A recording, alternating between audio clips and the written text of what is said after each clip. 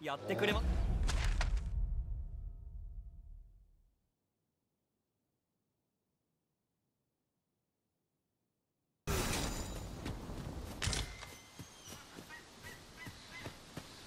素晴らしい。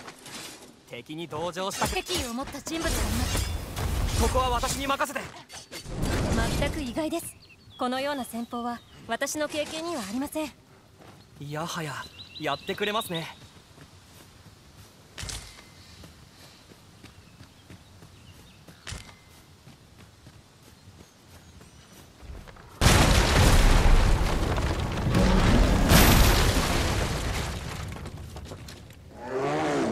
まさか魔物を橋代わりにできるとは。